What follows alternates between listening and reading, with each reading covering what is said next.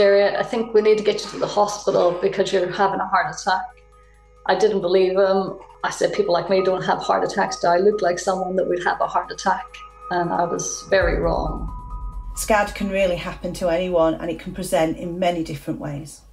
I had a SCAD and a cardiac arrest. I had no risk factors and nothing that really indicated that this would happen. I had to retire from my teaching job, a job that I really loved at the age of 34 after just having my third son due to being diagnosed with SCAD and then going on to develop heart failure.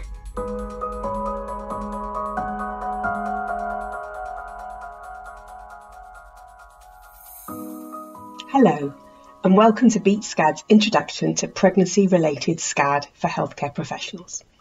Have you ever come across spontaneous coronary artery dissection? Because that's a bit of a mouthful, going forward we'll call it SCAD for short. SCAD is a frequently missed and misdiagnosed rare heart condition that cannot yet be predicted or prevented. A bruise or a tear develops between the layers of a coronary artery wall, which reduces or stops the flow of blood through the artery. Heart attack, cardiac arrest, or sudden cardiac death can follow. It's important to note that SCAD has nothing to do with atherosclerosis. Atherosclerosis is a clotting problem, SCAD is a bleeding problem. Because most SCAD patients have few or no cardiac risk factors, and because many will have normal ECGs, healthcare professionals often explore non cardiac causes for their cardiac symptoms. Pregnant and postpartum women who have had a SCAD say they always get checked for pulmonary embolism or preeclampsia, but rarely for a cardiac problem, even when they are having clear cardiac symptoms. So, what symptoms should you be looking out for? Symptoms of SCAD are the same as for any acute coronary syndrome chest pain or discomfort, pain in the jaw, back, or shoulders, heavy, numb arms, nausea and dizziness, breathlessness, sweating. Pregnancy related SCAD patients get told they are too young and too full of hormones to be having a heart attack. They often get a diagnosis of indigestion or anxiety but 50% of all postpartum coronary events are believed to be due to SCAD. Many SCAD patients will recover very well, but some are sadly left with heart failure. The quicker a SCAD heart attack is diagnosed and managed, the more likely the patient is to recover well. Time equals muscle. In the rest of this video, you will hear from leading UK SCAD researcher Dr. David Adlam and from women who have had a spontaneous coronary artery dissection around the time of their pregnancies.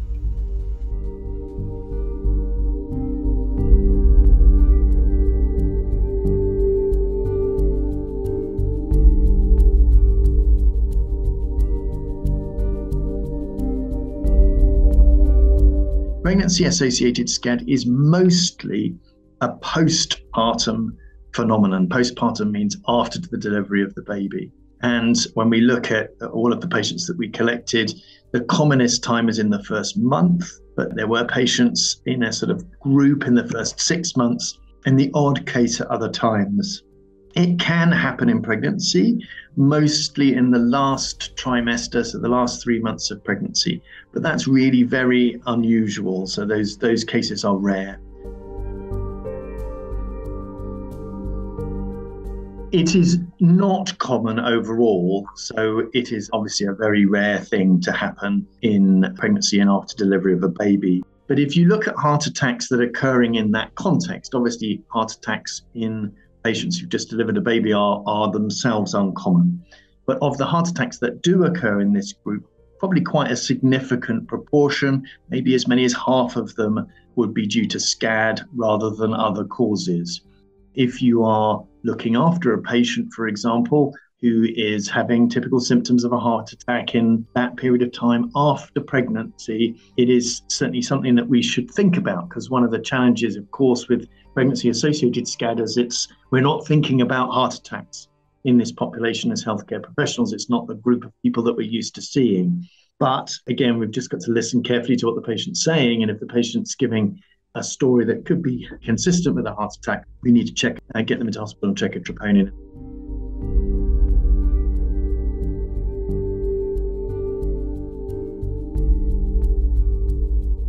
This paper was really focused on this aspect of SCAD that occurs in and around the time of pregnancy. That's hopefully helpful to healthcare professionals more widely because, of course, these are patients that are not necessarily going to pick up the phone to a cardiologist. You know, they may be seeing an obstetrician or a health visitor, and we want people out there who are looking after patients after delivery of the baby to know about this condition and think about it. The study shows and confirms some other previous data that pregnancy associated SCAD does seem to have a more serious presentation sometimes than SCAD outside the context of pregnancy. And this is something that we're starting to understand a little bit more about that, again, those hormones potentially have a play in terms of determining the severity of the presentation. However, despite that, a significant proportion of these patients, nearly two thirds of the patients, were still able to be managed without stents. Sometimes stents are necessary in patients who present with SCAD, who, for example, have a blocked artery or presenting with a, in, you know, in a situation where blood supply needs to be improved urgently to the heart. But we know from other papers that stents um, can cause issues, and we also know that SCAD heals if it's left alone. And so, if you like, what we're often trying to do with SCAD patients is to manage them without stenting. We call that managing them conservatively to allow the vessel to heal by itself. And this paper confirmed that even despite the fact that SCAD presentations, in terms of the extent of the dissections in patients with pregnancy associated SCAD, were more advanced, it was still possible to manage the majority of these patients conservatively, so without stents or bypass grafts. But the final element was looking at pregnancies in patients who have previously had SCAD. And this is, of course, a question for many of our patients who have childbearing age is trying to understand whether having a future pregnancy, what is the risk of that?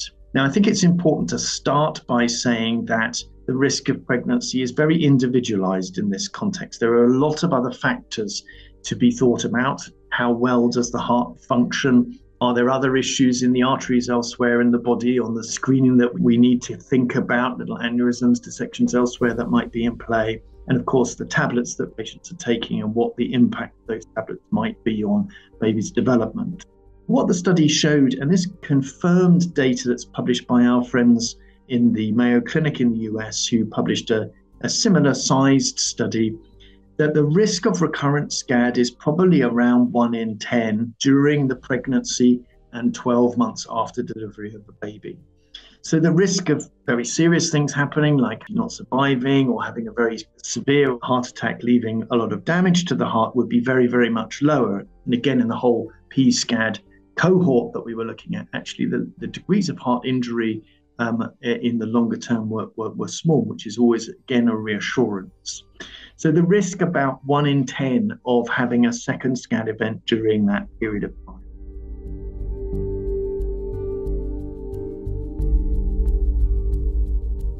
I think the symptoms are the same as they are for SCAD as a whole, and indeed for heart attacks as a whole. We know that women with heart attacks of whatever cause, that sometimes the description of symptoms can be a little bit different. And we see this in women, also sometimes in patients of different ethnic backgrounds and different cultural backgrounds. Descriptions can vary. But broadly speaking, there isn't a difference in the types of symptoms that people describe who are having pregnancy associated SCAD or SCAD in general compared to another type of heart attack. But they can be variable. There's often chest pain, obviously, it's often central, sometimes described as crushing, might go up into the jaw or the arm even into the back sometimes. But there's lots of variations around that.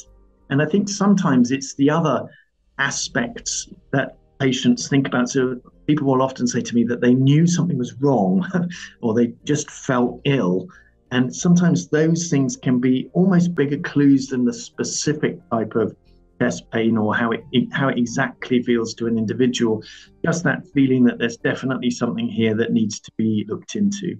And I think the main challenge in pregnancy associated SCAD is, of course, after delivery of a baby, there are many changes happening to the body at that time. And to some extent, there's a sort of relearning of your body process after delivering a baby, trying to work out what's a normal feeling, what's not a normal feeling. Uh, and that can make it difficult for people. But I think that the, the symptoms are not different. If you get the symptoms and you know the things that you recognize as being associated with the heart attack, and if you feel that something is definitely wrong, there's no harm in getting that checked out, making sure everything's okay and that you're safe.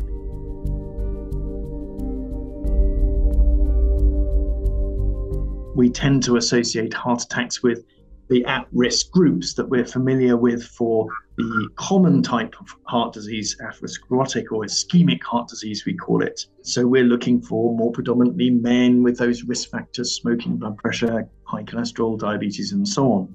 And of course, traditionally, younger women or women around the age and time of childbirth would be in very, very low risk group for classical coronary artery disease but of course, SCAD is a different disease. So I think the most important thing, and again, one of the things that we, we want to put out there with the paper, is if you've not heard of it, you're not going to think of it. And If you're not going to think about it, you're not going to be able to give the right advice. In that uncommon, remember, this is not a common condition, it's rare, but in that uncommon scenario when maybe they'll come across somebody who uh, could be having pregnancy associated SCAD.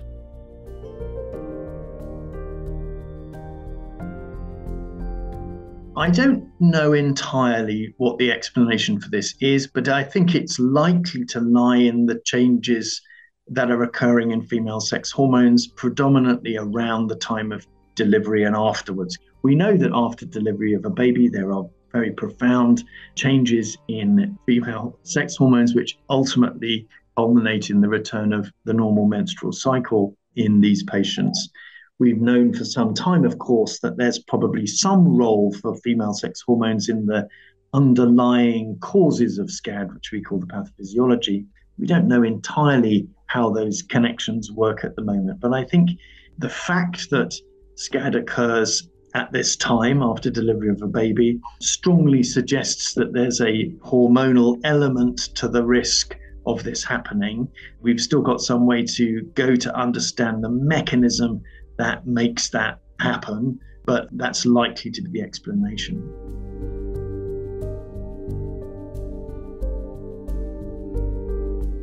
It's important to recognize that patients are individuals and their particular situations after a SCAD can be quite variable.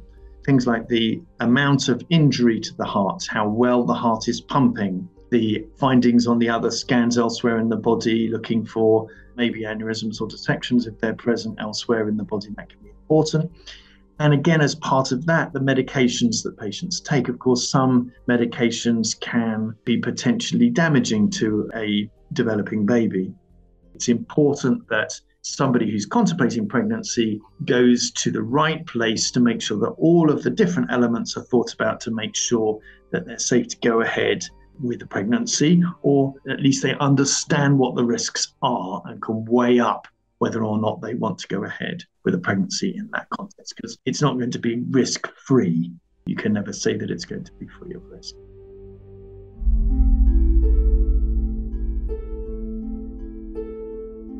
I was in my second trimester when I started to feel ill, was getting migraines and was really, really exhausted. Every time I spoke to my midwife, I was made to feel like I was a nuisance. I was made to feel quite silly. So I went to see my GP. Thankfully, he listened to me and he signed me off work at um, 32 weeks. Within those eight weeks till when my son was born, Again, still not feeling right. I was due to have a caesarean section with my third son, and when I was booked in to have it, uh, my heart rate was really, really high. And there was talk of possibly not doing the caesarean section, but thankfully they were able to stabilise me and I had on. I was sitting in the living room, just relaxing, breastfeeding him, and all of a sudden I started to get the pain in my ear and in my jaw. I felt quite nauseous. I had a funny feeling when I was breathing. My arms felt quite heavy. Kind of thought that maybe I've got a wee bit of a like food poisoning. And the GP told me I was having panic attacks. A couple of days later, we went out for a family walk, just really, really leisurely, and the symptoms started again. Quite hard to breathe, there's just something not quite right. It's not a panic attack. I know it's not a panic attack. So I went to um, the maternity ward, and the doctor that I saw there, she was just, she had a gut instinct that there just was something untoward, but she couldn't put her finger on it. So she said, I'm going to admit you for the night. I was very, very glad they did because during the night I had another episode. Obviously, after they'd done ECGs, done chest x rays, and they'd taken bloods, they then had realised that my troponin levels were extremely high. So they transferred me over to the cardiac ward with my, I had my 11 day old, 12 day old baby with me. A lovely young doctor came in and said that he needed to put me on clopidogrel, which is a blood thinner, and that I was going to have to stop breastfeeding. So they got me some bottles from the maternity ward, and I was breastfeeding, looking down at him, and then the symptoms came back again. But this time they were, can't say it was pain as such. There was never any real pain. It was just aches. So press the buzzer. The nurse came in, put me on an ECG, and then she literally pressed the lights, the blue, the alarm, and every doctor that was on the ward came rushing in. That was when they told me I was having huge heart attacks. And that was the first time that I really realised the extent of it. I was rushed off for an angiogram. They kept continually asking me, did I take drugs? You know, how much I drank, how much I smoked, and I was I was just like, I've I've just had a baby. You know, I haven't had anything to drink. The coronary arteries had split, but they didn't understand why this had happened. There happened to be a medic there who had read about SCAD, and he said, Look, I think I have an idea of what this is they decided that bypass surgery was the option. Just as they were about to operate, the LAD, which is also known as the Widowmaker, dissected right in front of them. I had bypass surgery with six grafts, and yeah, they very nearly lost me. Went off to ICU afterwards, and they didn't think that I was going to make it through the night because my heart had failed so much. It was after about eight weeks that they realised that I was not um, improving as much as they thought that I should have done by this stage, and they realised that I was actually in heart failure. So there is a huge chunk on the left ventricle, the bottom of the left ventricle, that the muscle has died. So I have a huge chunk of the bottom of my heart that actually doesn't beat anymore. Before being diagnosed with SCAD, I was a teacher. It was my dream career. I had just recently been qualified and I had lots of plans for the future. However, having been diagnosed with heart failure, it just totally changed my life. Um, I would not be able to work again, never mind teach. So, at the age of 35, after my maternity leave had um, finished, I was medically retired. And I do often wonder if somebody had listened to me, listened to the fact that I just didn't feel right. You know, could my sort of life have not been as impacted as badly as it is now?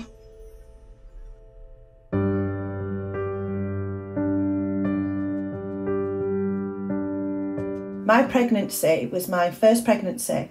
I had no problems at all.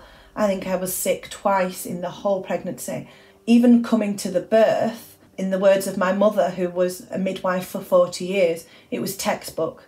At the time, I was 36 years old um, and had no concerns at all with regards to my health. On the day of my SCAD, I was at home with my 17 week old daughter. I felt tired, but then I was a new mum, I was breastfeeding, but it was a, generally a, a nice, easy day. That evening was my first opportunity to go out with my friends and so I'd arranged to, to go out for a dinner. On that day, I can recall um, my husband dropping me off about half past five to go in for dinner, and I have no further recollection after that point. From here, I'm relying on the memories of my kind of two friends and kind of what they told me. They said we had dinner, we had a couple of glasses of wine, and absolutely everything was fine. There was no issues, they had no concerns. And we were just stood having a conversation. And one of them says, one minute I was there, and the next minute I was down on the ground, um, I kind of uh, completely like I collapsed or fainted. She didn't think I was breathing. And so they immediately called an ambulance. And by the time they kind of got to me, they realised that I wasn't breathing and they had to uh, revive me to, to kind of bring me back using CPR. I very, very quickly then was transported to our local hospital. They realised that I needed um, to be put into an induced coma because they felt that that was the best option for me. And until they could really work out what was wrong, they were concerned that maybe it was drug related. And they asked my friends and family, you know, did I take drugs? The next time I can really remember is probably three or four days later as I came out from my induced coma. By that point, the cardiologist had diagnosed it as being a SCAD but what he said was, when they'd actually done all, all the kind of look, that my heart looked like it had recovered and it was back to where it should have been. It had just decided it was going to stop. They'd managed to get it restarted and there was actually no real damage. And so it was just going to be a matter of kind of recuperating and recovering. I was in the hospital for two weeks. That was quite difficult because I had a young baby, but the hospital staff there were amazing and, and really kind of supported me to make sure she could be with me every day. I had a subcutaneous ICD fitted following my PSCAD. Because mine was so quick and there was no onset of symptoms, it seemed to me like a good option. And so just before the second week, I had that fitted, and the next day um, I was ready and, and they could send me home. I was tired, even more tired with a baby. I needed a lot of support from family and friends. And I think one of the main things that's difficult is actually when you've had no warning and nothing's there, suddenly you think, what if it happens again? And even though you've got this device that's there, there is a fear. And I had a fear for many weeks and months of being on my own with the responsibility of a baby. It's important that you're aware of it and check on some of those symptoms and don't always assume that symptoms like pain in the arms or the chest or something are automatically going to be down to breastfeeding or that tiredness is automatically down to having a baby.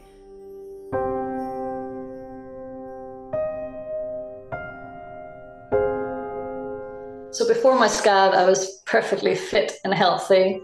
I've always been an active person. I worked in the city. I thrived in working under pressure. I have no family history of cardiac problems. The birth of my son was a normal delivery. Everything was fine. The day of my SCAD, it all started fine. My family were visiting and I was making tea. I had a sudden pain in my chest, more of a discomfort pain rather than a sharp pain. First, I thought it was digestive. I'd eaten something too quickly. But over the course of several hours, it started to build, and also the pain in my back and my arms. And I started vomiting. I started to not be able to breathe. It was like a crushing pain on my chest. And so I called 111. They said I need to take some aspirin. They were going to send an ambulance. It sounds like I'm having a heart attack. Several hours later, the paramedics arrived. They did an ECG and took my blood pressure, and they said it was all normal, but I was in severe distress. And they knew that there was something up the paramedic said, We do need to take you to the hospital. We'll get you a blood test. It's the only way we can rule out a heart attack because we might have missed the event. I still was in denial at this point that this was a heart attack. Um, particularly as my husband had, had said previously, Geri, with my work, if you were having these symptoms, we would hand you to the paramedics. He's a firefighter. I told him not to be stupid. Why would I be having a heart attack? We got to the hospital in A and E. Um, they said, I doubt it's a heart attack. You don't look like someone that's going to have a heart attack. Luckily, they did do a blood test, x rays, things like that, chest x rays. And several hours later, there was a rush into the trolley area that I was on, and I was whisked down the hospital and into the resuscitation ward. So at first, they thought it was myocarditis because I was slim, I was fit, I was healthy. They then subsequently asked if I had taken heroin or cocaine. And I said, no, never had done in my life, and certainly not being a mother. They couldn't work out why this has happened. I arrived at uh, Basildon to have my angiogram done. And Dr. Keeble was the cardiologist. He said, I doubt your arteries are clogged. And if I put this wire inside your heart, I could do irreparable damage. So we'll get you an MRI. Unfortunately, the MRI didn't work. Uh, my heart was in too much trauma and it didn't slow down enough. So we had to do the angiogram. But he heavily sedated me so I didn't move and he could be precise in what he was doing. When I woke up, he did say that um, it was SCAD, it was a tear in my circumflex artery. And he would refer me to Dr. Al-Hussaini, his colleague, who's a specialist in London It was going to be a 12 month waiting list to see her on the NHS. And thankfully, I had private medical insurance through my employer. And therefore, I saw her privately within a week. And if it wasn't for that, I would not have made the recovery, particularly when I was discharged, because I would never have known to do the things that she informed me to do in order to recover. She did also explain that it'll take approximately a year or so to physically recover, but maybe up to two years to emotionally recover. And she is absolutely right. My physical recovery is almost complete. I'm still going with my emotional recovery because my life came to a crashing stop. And I feel personally, if it wasn't for seeing her and her understanding of SCAD, I wouldn't be where I am today in terms of, of my recovery.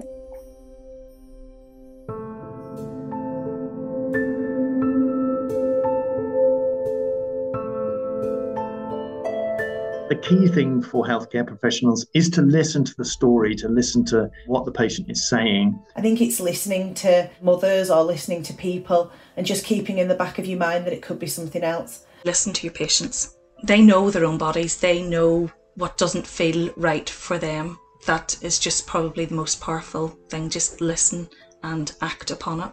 Your response can make a huge difference to a person's life. Often patients will say that they felt something was wrong we tended to see patients after the fact, but often the stories that they give are of typical symptoms that we are used to hearing in terms of heart disease and, and heart attacks. Treat the person, not the pathways of the symptoms, because we don't express them. And always remember that for a patient to pop to hospital and get a troponin checked, if you're worried about this as a possible diagnosis, it's a very sensitive blood test. If it's normal, you know, there's a very quick answer to the question that you can you can get for patients. Don't be afraid to do those extra tests. Just to check their troponin levels to an ECG. Just not to assume as well that it may be drug related or, or, kind of anything to do with that, because there are other reasons why people who are young may have a cardiac incident. Particularly for the PSCAD, being detached from a baby for a week is horrendously difficult, aside from what you're going through in your own recovery. So it's really important to think about that aspect of motherhood, and not just someone who's had a heart attack and is dealing with a coronary problem. I never knew anybody like me had a heart attack. That's why I didn't believe or trust in anything. So I think more needs to be done in helping people understand that actually it does occur. We hope you have found this film a useful summary of what spontaneous coronary artery dissection is how it can impact pregnancy, and what healthcare professionals need to be aware of. And having heard some very different patient stories, you will also now be aware that SCAD can present in many ways. Further resources to read and watch will be shared in the comments section. But perhaps the most important takeaway from this short film is to be ready to have a raised index of suspicion when presented with a pregnant or postpartum patient with cardiac symptoms, particularly if they have few or no cardiac risk factors. If you have any doubts at all, please insist on a troponin blood test to rule out a cardiac explanation for your patient's symptoms. Doing this simple blood test might just save a heart and possibly even a life.